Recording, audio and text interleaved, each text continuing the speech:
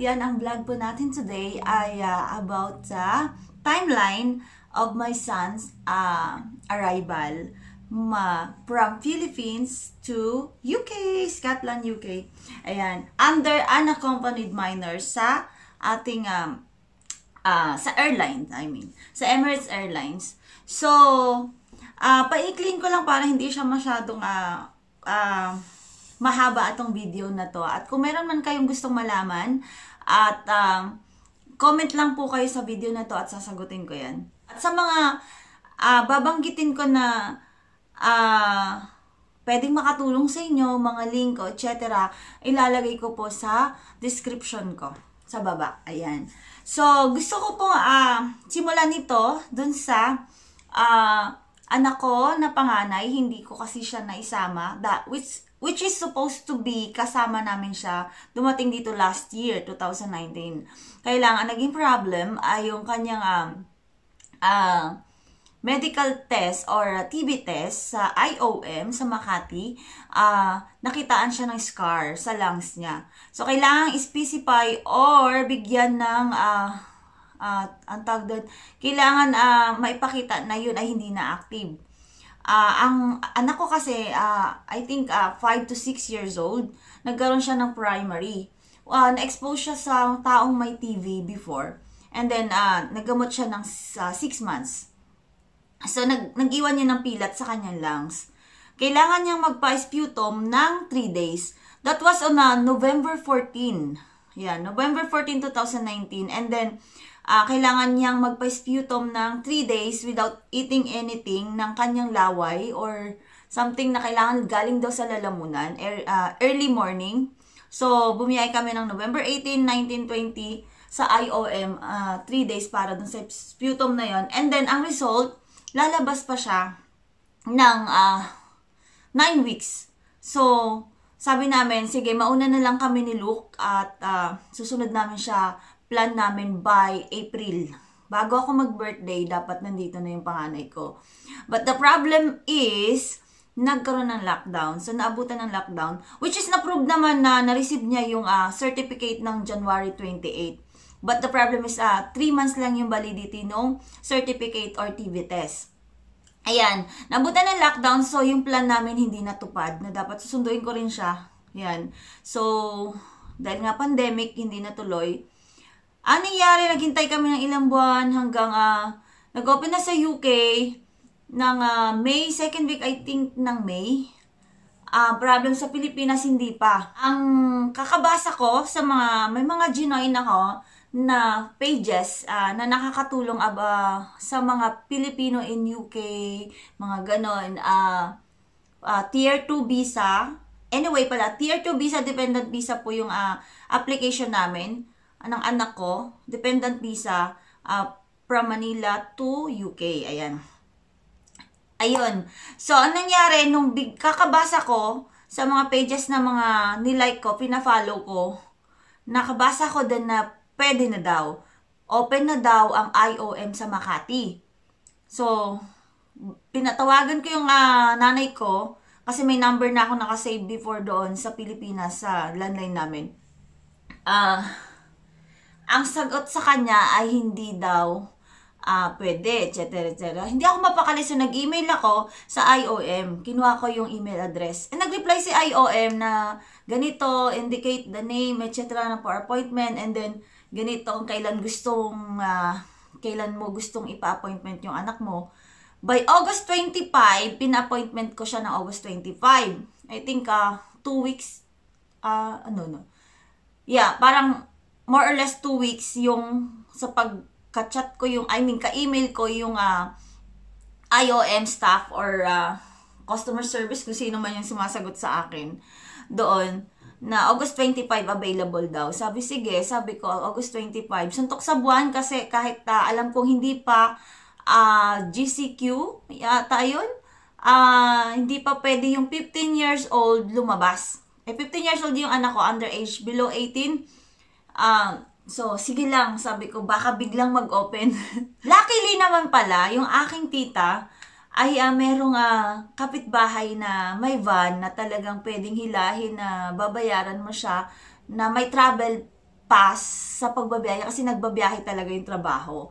So sabi ko, ay hindi, sabi ng tita ko, hindi na kailangan kasi kapag may travel pass yung van, kung sino yung sakay, hindi na hanapan ng ano, travel pass. Yun. Uh, yun ang nangyari. So nagkaroon na ng, uh, natuloy yung August 25 appointment sa IOM sa Makati. And then, uh, after 2 hours, uh, nakuha niya na yung kanyang certificate ulit na panibago, which is yung validity na nun ay 6 months na. After nun, uh, right away, uh, plan-plan na kami ng asawa ko and then uh, bayad na sa VFS sa online sa UK uh, VI uh, sa kanyang visa and uh, IHS. And then, uh, September 16, pina-appointment na namin siya sa VFS, which is in Makati din. And then, after that, October 5, na-receive na, na ng anak ko yung passport niya with, with approved visa. Ang uh, valid entry naman is October 16, 2020 until uh, January 16, 2021. So, it means may 3 months siya uh, to enter the UK. Within that period of time, kailangan maka-enter na sa, sa UK. And then, syempre, patatagalin ko pa ba? Eh, ang dami-dami ng mga cases. But the, naging problema, naging worries ko lang kasi unaccompanied siya. Hassle sa akin, sunduin siya, kasi kailangan magpa-swab test ako and then um, punta ng Manila and then quarantine 14 days and then hindi ako nagwo-work so hindi hindi pa ako um, OFW kumbaga na sinasabi na may work so sagot ko din siya kung sakali. And then after uh, isa pa sa reason yung anak ko meron akong 7 years old na nag-aaral dito. At sino mag-aalaga? Uh, kung ganun. So kaka-search-search ko everyday, talagang hindi ako maalis sa ano, napabayaan ko na nga yung YT ko.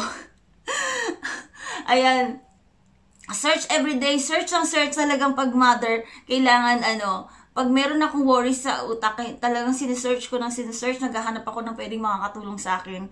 At uh, isa yan yung mga uh, ah, FB pages na sinalihan ko, na ginoin ko, na fina-follow ko, na nakatulong sa lahat ng mga question ko. Silent reader lang ako doon Ayan, sa mga nakakaalis. And then, uh, to make the story short, ayan na nga, uh, ang winoris ko lang doon ay hinahanapan doon ng CFO, which is exempted ang Tier 2 dependent visa sa CFO, which is uh, from Bureau of Immigration. Ang kailangan yun ay sa mga may uh, foreign asawa lang yata na sinasabi nila.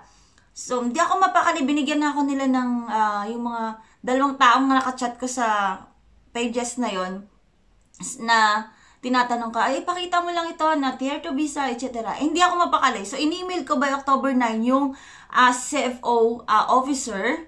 Yan, lalagay ko yung email address niya para kung kailangan yung email ko para sigurado kayo na ang bilis niyang sumagot. So, at least yun, may papakita niyo sa immigration officer na name niyo talaga naka-indicate na exempted yung inyong anak or dependent na pupunta dito sa UK. So, October 9. And then by October 10, ah, kailangan kasi may swab test. Um, nag-register ako sa EHUB uh, ng St. EHUB Health ng St. Luke's Medical for swab test nung aking uh, anak. Kailangan kasi siya by online na mag-register para by uh, October 15 ang uh, pa-schedule ko siya ng swab test by October 17 yun yung goal ko is makaalis na siya but uh, isa pa sa worries ko yung DSWD kasi sabi nila mayroong uh, hinahanapan talaga ng immigration officer doon sa uh, about travel permit or travel clearance sa minors from uh, Manila sa ating airport sa immigration officer So, sabi nila exempted. So, hindi ako mapakali. Binigyan ako ng letter na, ay, ng sulat na exempted, exempted na nakasulat doon ang uh, residence. Eh, kasi yung Tier 2 visa is um, equivalent of residence, which is residence na kami dito. But hindi kami citizen pa. Kailangan pa namin mag-apply. So, yun lang yung alam. Nag-email ako para manigurado ako. Kahit binigyan na ako ng mga ganitong letter ng dalawang nakachat ko kasi nanigurado ako. Nag-email ako sa DSWD na ganito, ganyan. Ang sabi niya, yes, uh, Ah, before that pala, nag-email ako, pinapunta ko muna yung aking uh, tita dun sa Pasay uh, branch ng DSWD. Kaya lang hindi sila pinapasok. Ang sabi lang, kailangan mo kumuha by online. Mag-email, uh, etc. etc. Eh, hindi naman. Hindi naman sa email mag-register doon sa DS. Hindi naman naka-indicate doon yung exemption letter. So, sabi ko, mag-email ako para sigurado. Which is, na-prove naman sa akin by email na exempted nga. Kasi equivalent naman ng residence yung aming visa. Kaya lang, nung hinihingi ko na yung exemption letter galing sa ka-email ko na yon kailangan pumunta daw sa Alabang. So, by then, pinap- tinawagan ko yung uh, nanay ko, pinapunta ko sa Alabang, kasama yung tita ko. Ayan. So, wala akong consent letter. Yung consent letter ko is uh, para doon sa airlines na hawak nila. Tinawagan na lang kami madaling araw, alauna. Kailangan kausapin ako ng ano na talaga nandito kami. Ayan. Tapos pinagawa ko on the spot ng letter na consent letter uh, right uh, tawag dito, written lang daw, handwritten, okay lang. Habang kausap ko yung officer sa DSWD. Ayan, na hindi nila sagutin kung ano man sa anak ko. Yun kasi yung ano nila eh, para hindi sila masisi na nakalabas ng bansa natin yung isang minor na kumapahamak man. So, by then, nagpirma daw kami ng asawa ko, ginising ko asawa ko para pumirma, ganyan, ganyan, and then sinend by email. Sinend by email, then sila na nag-print yung DSWD. And then, uh, nakuha agad yung certificate na inintay ko. And then, yung mga pinaserox ko sa mother ko ng mga naka-indicate na exemption letter, hindi ko na inano. Sabi ko, iwan nyo na yan. Dahil meron na kami exemption letter. And then, yung CFO din na naka-indicate yung pangalan ko at yung sa anak ko na by email, print ko sa, na, sa mother ko para hawak-hawak ng anak ko. So, yun lang ang alam kong pwedeng makapag-stop uh, sa anak ko or hahanapin sa ng IO or immigration officer sa flight niya. And then, swab test, lumabas yung swab test, October 15, swab test siya. Uh, and then, uh, by 26 hours, lumabas yung result ng swab test by online do sa EHAB. At, uh, pina print na rin agad namin. So, by October 17, ayun na, flight na ng anak ko. Uh, anyway pala, nagpabook din kami ng airlines ng October 15, same, same day, nung nagpa-swab test yung anak ko. Nagbook muna kami ng ticket niya, and then nagpa-swab test. And then, uh, nagbook ng ticket by online, Uh, and then, kung unaccompanied, kung gusto mong ipa-assist yung anak mo, kung gusto mong ipa-unaccompanied minors mo, na naka uh, description doon sa anak mo na aalis, um, iya, papa-assist mo, magbabayad ka ng $50 additional doon sa sa ticket ng anak mo. Eh, may stopover ng Dubai, yung uh, airlines na Emirates, So, ang binayaran namin total is $100 additional. Kailangan i-call mo and then sa ulo mo rin dapat yung, kailangan kumol ka talaga sa customer service ng Emirates para ma, ano na, unaccompanied, ma-indicate na unaccompanied yung uh, anak mo. At sino yung maghahatid sa anak mo, uh, number, and then uh, name, and then ID. Yung ID ng um, nanay ko, may pipirmahan kasi pag uh, hinand over ng nanay mo uh, yung bata sa airlines, dapat may hawak na ID yung maghahatid sa bata. And then, wag mong iiwan hanggat hindi lumilipad yung uh, yung airlines. Kinuha yung passport ng anak ko and then, uh, luckily naman wala, hindi hinanap. Lahat na kompleto ko yung papers na lang. Worried ako. Walang hinanap sa anak ko. Dahil siguro, dahil may ano na siya, may, may assistant na siya, pina-assist namin siya talaga sa, ano, airlines, sa flight attendant ng uh, airlines. So, hanggang ano, ang Dubai, pagdating ng Dubai, uh, na hindi ako nakatulog at talagang uh, konti lang idlip-idlip lang ako kasi nag-worry ako pagdating ng Dubai baka kako iwan siya. So ang nangyari pala, pagpasa mo dun sa assistant, uh, hinand over ng guardian yung uh, uh, anak mo uh, mag assist iba rin. Pagdating sa loob ng airlines, iba din yung uh, flight attendant. Parang ipapasa nung uh, crew na yon dun sa flight attendant sa loob ng airplane yung bata, yung anak mo. And then pagdating doon, uh, kukunin niya yung uh, anak mo pagdating sa stopover sa Dubai. And then i-hand over niya rin doon sa isa pang crew na nasa Dubai naman. Iiwan doon hanggang sa hindi iiwan, kumbaga sama-sama lahat ng unaccompanied minors doon sa isang place may place doon na unaccompanied minors yung iba doon, papuntang Poland, ilang Europe, papuntang U, uh, US. Sabi ng anak ko. So siya, at tatabagin lang, uh, Lance John Ribaron po going to uh, Scotland, yan, sasabi niya siya. And then, iba na, yung crew na nakabantay sa kanila, ipapasa doon sa flight attendant ng airlines na papunta naman sa uh, Scotland, nasa UK. Ayun, ganun yung nangyari. So, parang uh, nakampante din ako Ayan, uh, minessage din ako ng anak ko na nandoon nga sila, pinakita niya rin yung uh, yung uh, video and uh, ano, so dapat lang talaga ang bilin ang kabilin-bilinan ko sa kanya free naman ang wifi sa mga airport kapag meron kang time, i-message mo ako para hindi rin ako uh, mag-alala ng husto. And then, ayun na nga, after ng ano, ah, Kinabukasan ng October 18, ayan, maaga kaming umalis, um, I think uh, 10 a.m., umalis na kami ng bahay.